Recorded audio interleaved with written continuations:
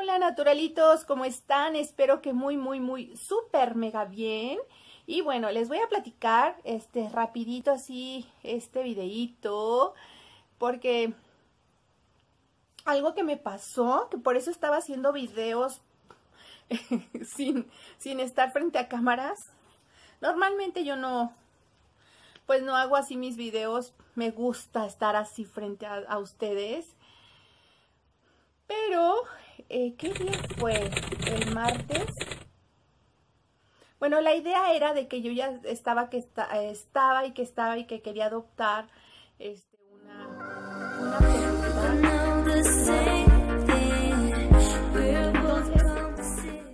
tiempo atrás, yo iba y la visitaba para que me fuera conociendo y la alzaba y la papachaba y yo decía, bueno, pues ya un día vas a estar en casa. Y yo pues ya me hacía la idea, ¿no? De que pues sí, va a estar con nosotros, va a estar conmigo y con Jerónimo. Este Jerónimo es mi chihuahueño. Creo que ya se los enseñé. Él nació con una con un piecito malito. Entonces, pues Jerónimo es mi compañero de vida aquí en casa. Entonces yo dije, bueno, pues me llevo a la PUG, la vamos a adoptar porque no la compré, me la regalaban. Yo dije, bueno, pues la voy a conocer poco a poco, la iba y la visitaba todos los días y no había ningún problema. O sea, la verdad no había ningún problema. Se dio el día que pues me la bañaron y me la pusieron bien guapa porque pues ya iba a llegar a casita, a casa. Y pues la alcé con su alimento y todo bien padre, yo bien feliz, un poquito así temerosa porque yo decía, oh, ya conozco a Jerónimo, Jerónimo, yo puedo estar grabando y, no me, no me molesta, la verdad, él está ya en sus cobertores que le pongo y se tapa él todo, Jerónimo se tapa solito, de al principio yo decía, ¿dónde está Jerónimo? Y le pongo sus cobertorcitos de bebé y se tapa. Y con él pues no había ningún problema. Bueno, yo dije, a ver cómo se adapta con moca, porque así le puse a moca, em, le puse moca. Entonces les cuento que eso fue desde las 7 de la noche que me la entregan a las 9 de la noche. No, yo empecé a estornude y estornude, estornude y estornude. Yo dije, oh, me voy a enfermar o qué pasó, qué está pasando. Yo dije, no, no, es, es algo, algo que me pasó y voy a estar bien. Pues no pasó más que a las 10 de la noche yo ya traía así los ojos hinchadísimos y a la hora de cerrar mis ojos se me dolían. Yo dije, ay, qué raro, me voy a enfermar. Yo en días, o sea, no me sentía mal. Yo dije, oh, bueno, pues aquí ya puse a Moca, este, cené, anduvo aquí jugando. Para los cuartos no, no le permití que entrara, únicamente lo que fue sala comedor, el patio y la entrada. Todo muy bien, se adaptó con Jerónimo, este, jugaban, estuvieron jugando todo el, todo el rato que estuve yo allá en lo que fue sala comedor, estuvieron jugando, yo lavando trastes, haciendo mis cosas, pero yo seguía con la estornude, estornude, mis ojos ya, ya no daba más, este, yo dije, no, es que esto ya no es normal, así me quedé toda la noche, no me tomé nada, ah, nada más una pastilla para el dolor de cabeza, porque ya me dolía la cabeza de tanto estornudar y estornudar, y yo dije, ay, es que esto ya no es normal, y entonces me habla, me habla mi hija y me dice, ¿cómo te está yendo con Moca? Le digo, muy bien, todo muy tranquilo, estoy feliz porque pues es muy, muy tranquila. Y la verdad, yo con la, con Moca no tuve ningún problema.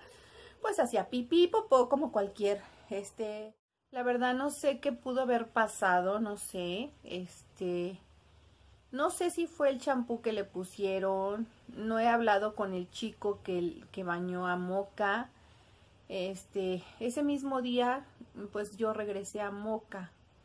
Pero Moca está en un buen lugar, se lo a finales, al final, pues se lo llevó mi, se la llevó mi hermano Ramón, este, y está en su casa, Moca. Pero Les voy a dejar unas fotitos de Moca, este, una perra hermosa, este, no me dio lata, creo que se hubiera adaptado muchísimo aquí con nosotros.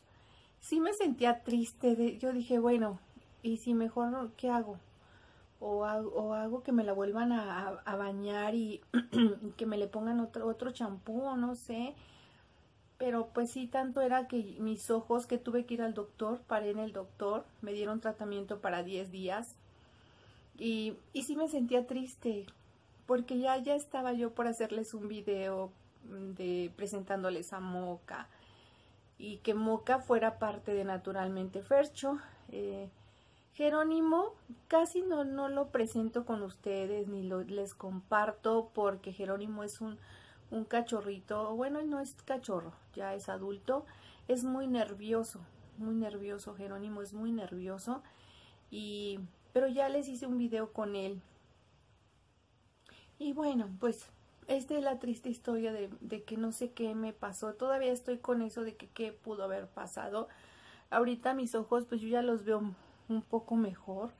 No sé, no sé. Que, créanme que me lo pregunto qué pasó y qué pasó.